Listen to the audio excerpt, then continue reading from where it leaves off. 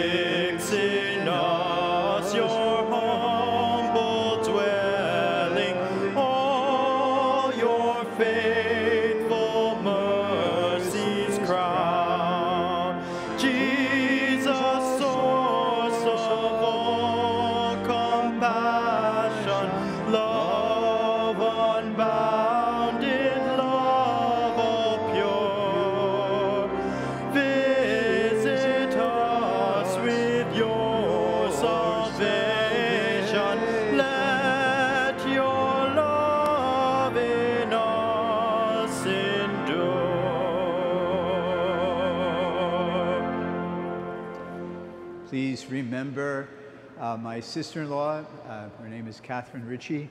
She had a massive heart attack over the weekend, so and she needs all the prayers that she can get. In the name of the Father and of the Son and of the Holy Spirit, the grace of our Lord Jesus Christ and the love of God and the communion of the Holy Spirit be with you all. My sisters, my brothers, let us acknowledge our sins and so prepare ourselves to celebrate the sacred mysteries.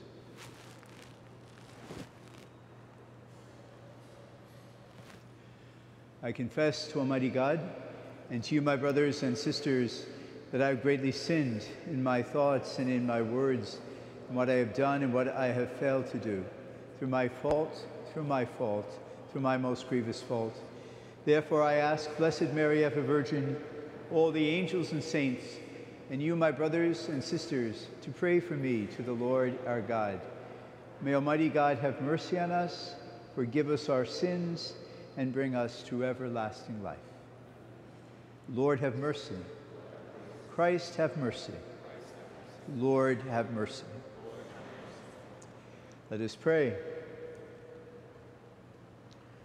O God, who gave the priest St. Bernardine of Siena a great love for the holy name of Jesus, grant through his merits and prayers that we may ever be set aflame with the spirit of your love, through Christ our Lord.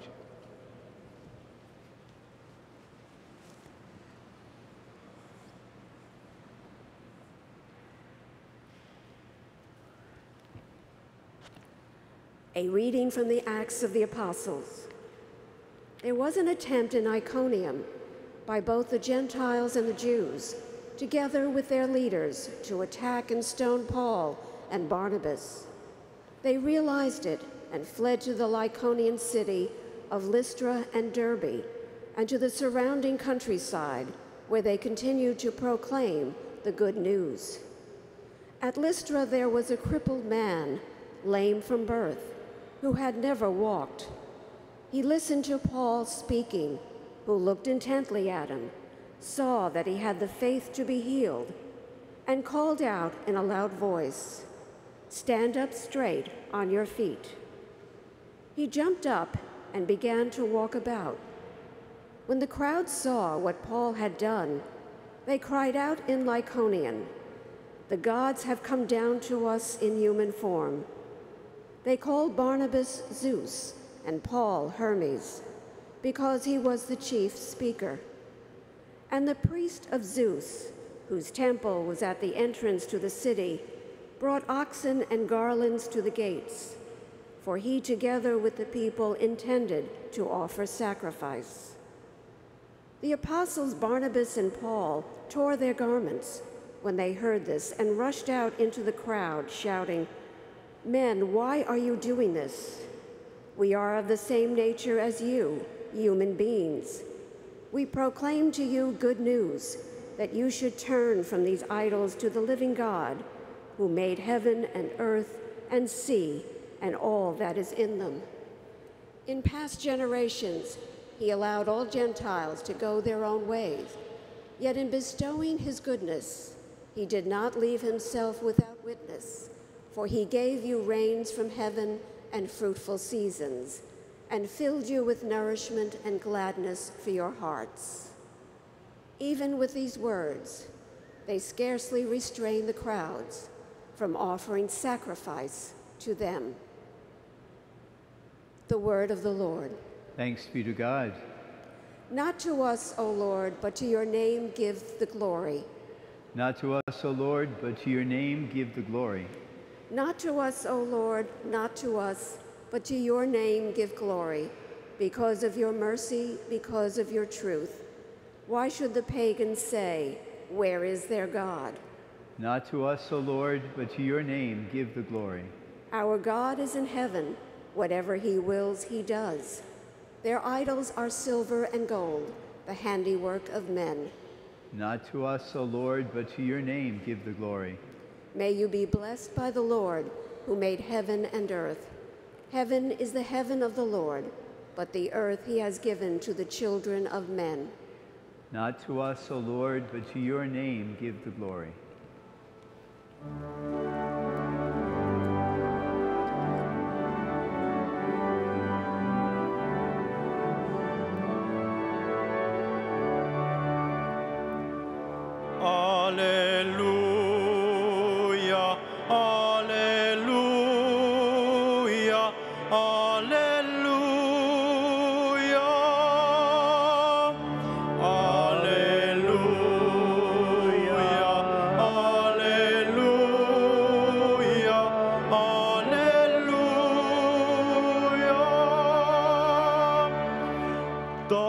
Holy Spirit will teach you everything and remind you of all I told you.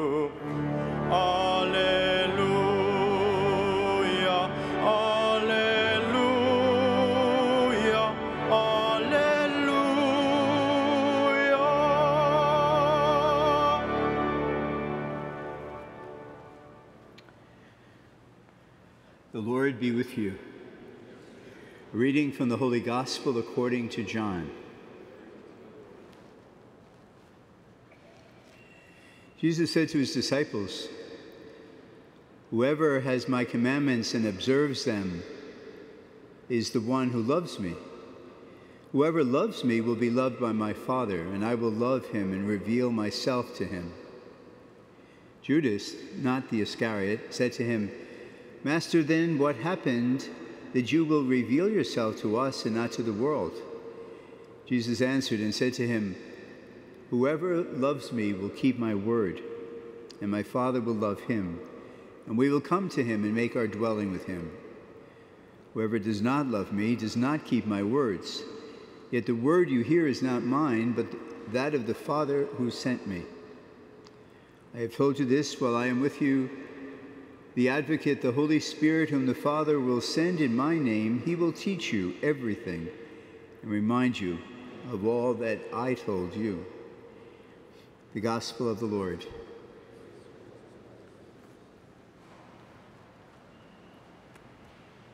Today is the feast of St. Bernardine of Siena.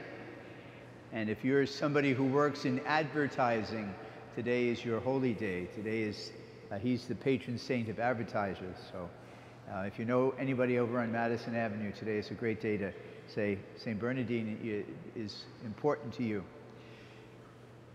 If you look up in the, in the crossing, the ceiling here at St. Patrick's, um, there's a, a symbol that many people have asked me over the years, well, Father, what does that mean up there?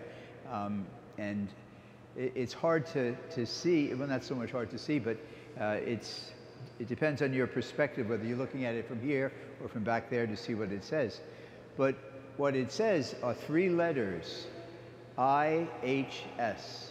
And very often you'll see those letters in a, in a lot of uh, Catholic uh, iconography in, in, churches and in designs.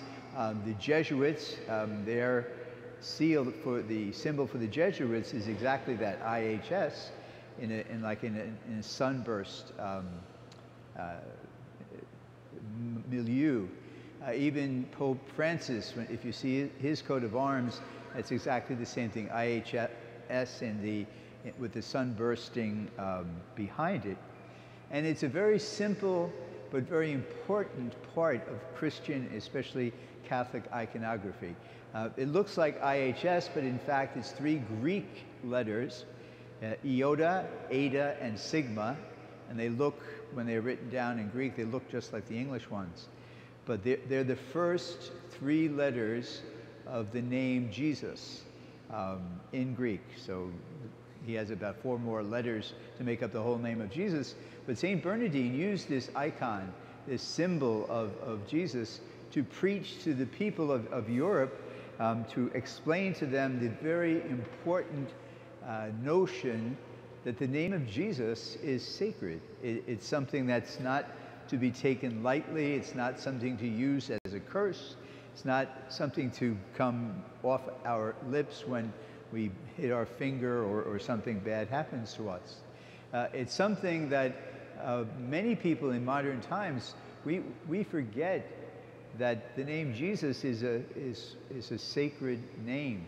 Now, we're used to talk, talking about Jesus in church. We preach about him. We uh, have him as the model of our lives. But sometimes we forget that when we misuse the name of God, whether it's God or whether it's Jesus or one of the other uh, attributes of what God is all about, uh, we're doing something that's not, is not what God wants. Uh, to use the name of Jesus in a, in a, in a way of uh, exclamation uh, doesn't really fit in with what it's, it's all about. So every year on this feast day, I always talk about St. Bernardine and the great effect that he had. Uh, if you have ever been a member of a, a, society called the Holy Name Society, it's, uh, it's a society that was set up because of the preaching of this man in different parts of, parts of the world. Just yesterday, we had a, um, a meeting of the Holy Name Society of the Metal of the uh, Electrical Workers Union, and that's that concept of the importance of the name Jesus is something that they understand. Uh, the police department, the fire department, and other uniformed um, departments in New York City all have holy name societies. Uh, and I think many times uh, the members of the society don't realize what it's all about, but it's, it's all about IHS, uh, the first three letters of, Jesus, of the name Jesus. So when you think about it, uh, and certainly it's a great thing to think about, do I keep that name sacred? Um, do I sometimes use it inappropriately? Uh, well, today is a good day to, to look at ourselves and see if we do that because many people who are very, very good forget and they say the, the name of Jesus in a way that they shouldn't be saying. They're not bad people, they're not terrible sinners, but it's something that we should remind ourselves of um, every now and then, especially on this feast day of St. Bernardine. Uh, the first letters the name Jesus is a sacred name. It's a holy name. It should be part of our speaking holy things rather than imprecations or other not so holy things. In the name of the Father, and of the Son, and of the Holy Spirit. Amen. Let us pray. We pray for our Holy Father, Pope Francis. We pray for our shepherd, Cardinal Dolan, that God bless them and guide them. We pray to the Lord. We pray for teachers who are coming to the end of the school year and for their students who are looking forward to the summer, that God may bless them and protect them during their off months. We pray to the Lord. We pray for those who are graduating, those who were here from St. Patrick's Cathedral, and those who are graduating in our families, that God may bless them and give them a good future. We pray to the Lord. We pray for those who are hospitalized, uh, members of our family. We pray especially for Catherine Ritchie and people that we know and love that are hospitalized now. We pray to the Lord. And for those who work for the defense of human life, those who work for peace and for justice, that God may bless their labors, we pray to the Lord. And in the silence of our own hearts, let each of us add our own particular intention.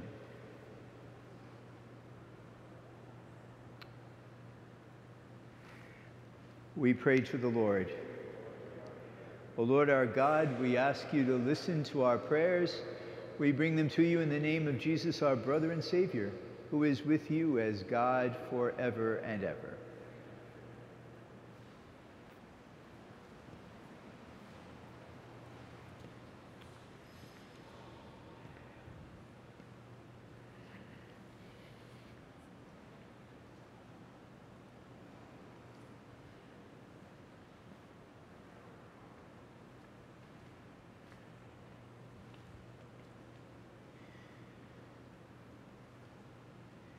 Blessed are you, Lord God of all creation, for through your goodness we have received the bread we offer you, fruit of the earth and the work of human hands, will become for us the bread of life.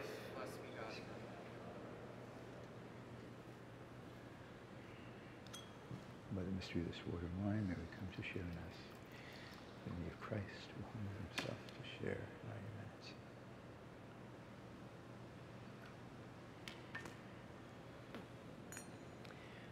Blessed are you, Lord God of all creation, for through your goodness we have received the wine we offer you, fruit of the vine and work of human hands, will become our spiritual drink. Blessed be God forever. Lord, wash away my fatigue, cleanse me my sins.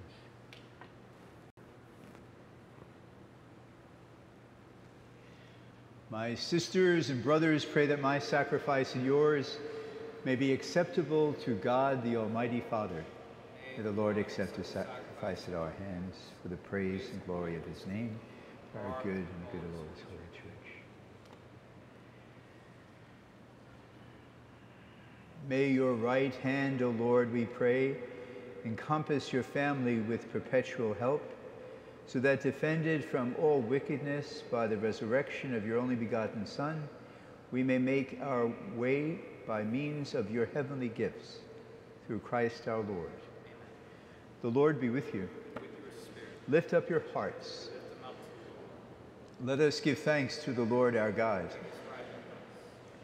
It is truly right and just, our duty and our salvation at all times, to acclaim you, O Lord, but in this time, above all, to laud you yet more gloriously, when Christ our Passover has been sacrificed. By the oblation of his body, he brought the sacrifices of old to fulfillment and the reality of the cross. And by commending himself to you for our salvation, showed himself the priest, the altar, and the lamb of sacrifice. Therefore, overcome with paschal joy, every land, every people exults in your praise. And even the heavenly powers with the angelic hosts sing together the unending hymn of your glory as they acclaim.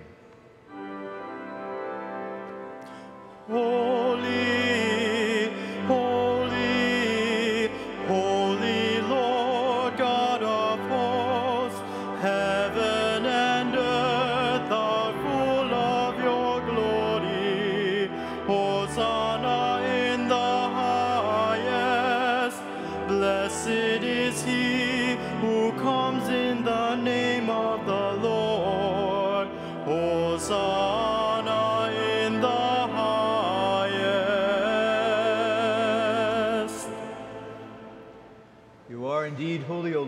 fount of all holiness. Make holy, therefore, these gifts, we pray, by sending down your Spirit upon them like the dewfall, so that they may become for us the body and blood of our Lord Jesus Christ.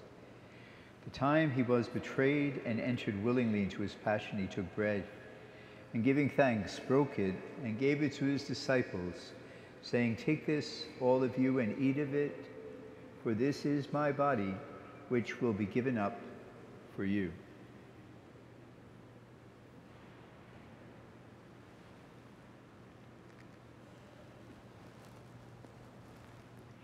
A similar way, when supper was ended, he took the chalice. Once more giving thanks, he gave it to his disciples, saying, Take this, all of you, and drink from it.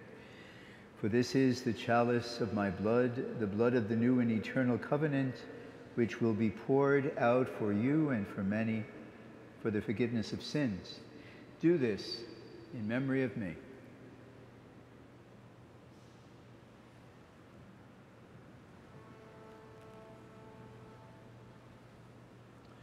The mystery of faith.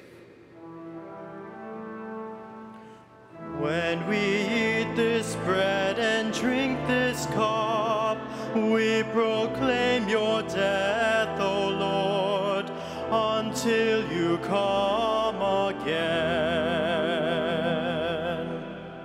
Therefore, as we celebrate the memorial of his death and resurrection, we offer you, Lord, the bread of life and the chalice of salvation, giving thanks that you have held us worthy to be in your presence and minister to you.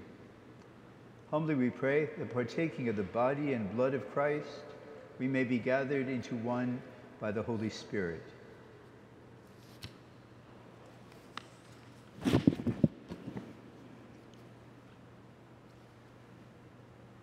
Remember, Lord, your church spread throughout the world and bring her to the fullness of charity, together with Francis our Pope and Timothy our Bishop and all the clergy. Remember your servants, Orinda and Joseph, whom you have called from this world to yourself.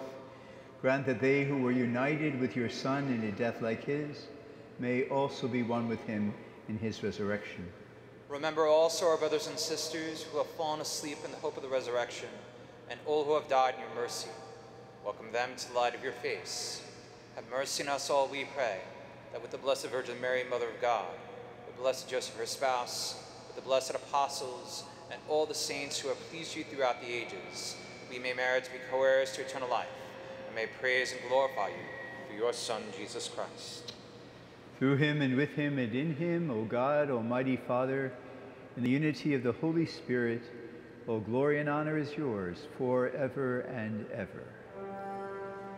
Amen.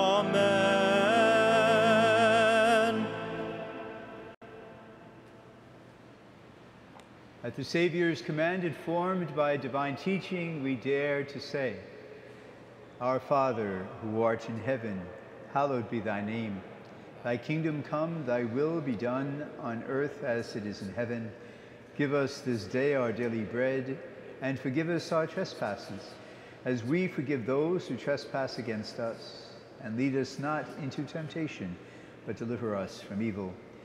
Deliver us, Lord, we pray, from every evil. Graciously grant peace in our days, that by the help of your mercy we may be always free from sin and safe from all distress, as we await the blessed hope and the coming of our Savior, Jesus Christ. For the kingdom, the power, and the glory are yours, now and forever. Lord Jesus Christ, who said to your apostles, Peace I leave with you, my peace I give you. Look not on our sins, but on the faith of your church, and graciously grant her peace and unity in accordance with your will, who live and reign forever and ever. The peace of the Lord be with you always. With your spirit. Let us offer each other the sign of peace. Peace, man.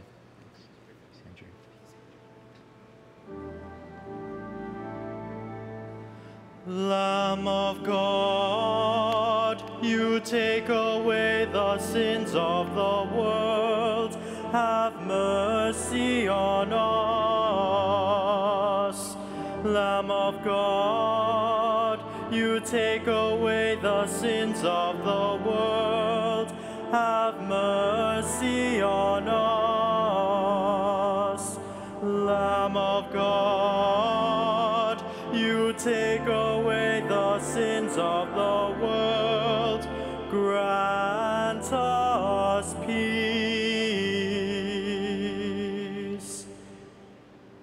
Behold the Lamb of God.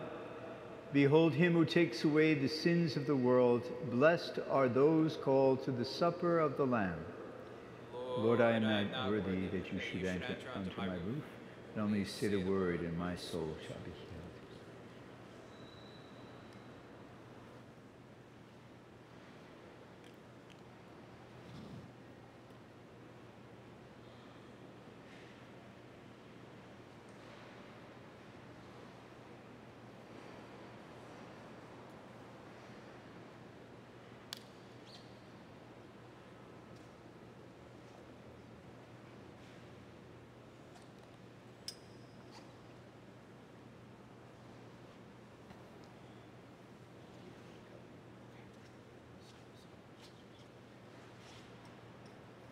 Our communion hymn is number 476, Ye Sons and Daughters, number 476.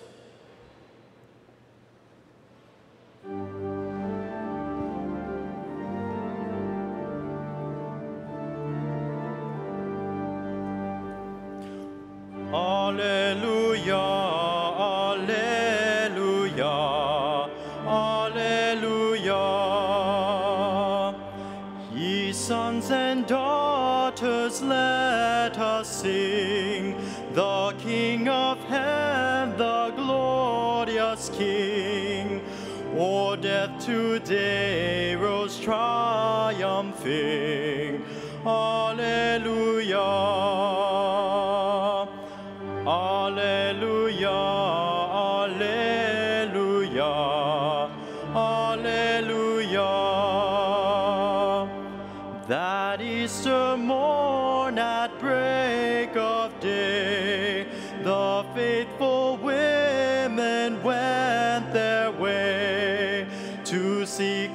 Tomb where Jesus lay. Alleluia.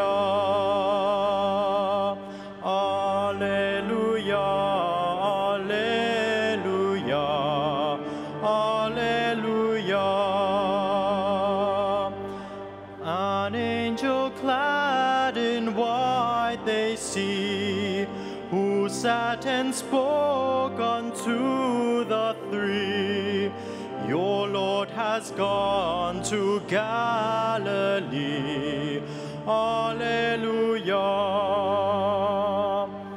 Alleluia. Alleluia. Alleluia.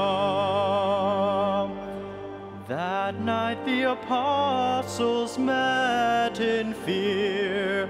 Amidst them came their Lord most dear, and said, My peace be on all here. Alleluia.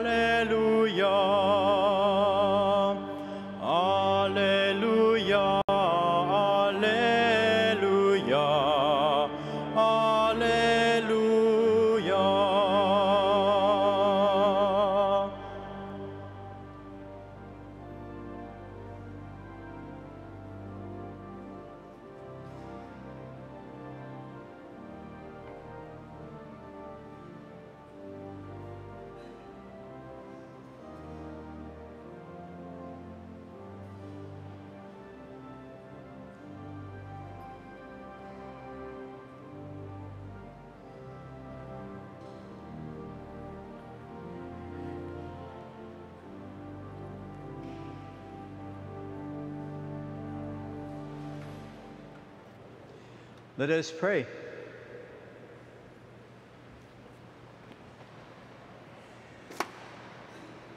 By the power of this mystery, O Lord, confirm your servants in their true faith, that they may everywhere profess in word and deed the faith for which blessed Bernardine never ceased to labor and for which he spent his whole life. Through Christ our Lord. The Lord be with you. May Almighty God bless you, the Father, and the Son, and the Holy Spirit. Our Mass is ended. Go in peace. Have a great day, everybody. Our closing hymn is number 484, Alleluia, Alleluia. Number 484.